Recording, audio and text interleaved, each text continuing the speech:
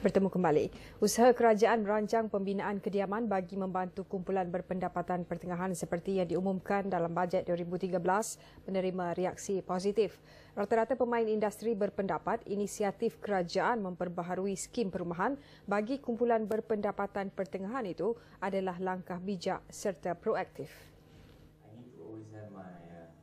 Ketua Pegawai Eksekutif Greater Synergy Group, Ahyat Ishak berkata ia membuka ruang kepada belia khususnya untuk memperolehi kediaman sendiri dalam pada harga hartanah kini meningkat secara drastik. Everyone who are within that age of 21 to 30 years old, it's time to wake up. The government is giving us a lot of opportunities to buy your first property and I'm urging all the young people buy that first property in 2013 Turut berkongsi pendapat yang sama, Presiden Kelab Pelabur Hartanah Antarabangsa, Shuang T, Gavin T.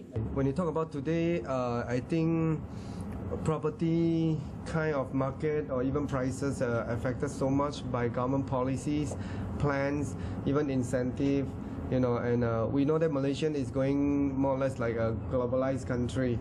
So that's why I think budget, uh, financials, all this kind of uh, uh, national policy is, is relatively uh, is significant to to uh, for them to put their money down and uh, to make a property investment decisions.